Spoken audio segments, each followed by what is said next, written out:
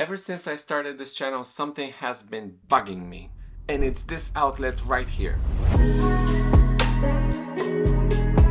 So in this video, I'll show you how to remove stuff from your background. Keep in mind that this will work easily on a background like this one, but if you have a lot of object and it's far in the distance, it might not do this well. First, we'll go to the color page with our clip selected and we would create a new serial node with the shortcut S plus option.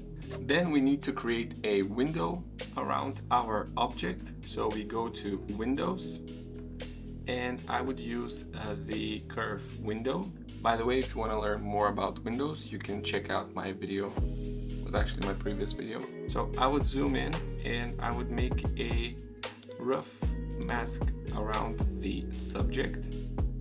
I'll make sure that I leave some space so that I can feather it out later. Then we need to track our mask. In this example right here, there's no movement. Most of the times you would have some camera shake or something. So we need to track this mask. So with this same node selected, we go to the tracker, deselect the 3D. We don't need it right here. We just need to pan, tilt, zoom, and rotate. And then I will click track forward and backwards. Then we go to the effects and we're looking for object removal. We just drag and drop and in the effects tools we would go to scene analyze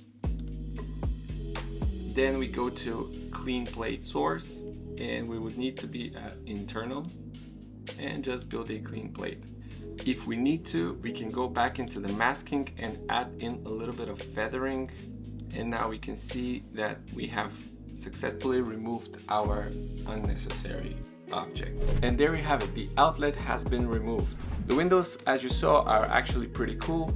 And if you want to learn more about them, you can check out my previous video. Don't forget to subscribe to support the brother, and I'll see you next time.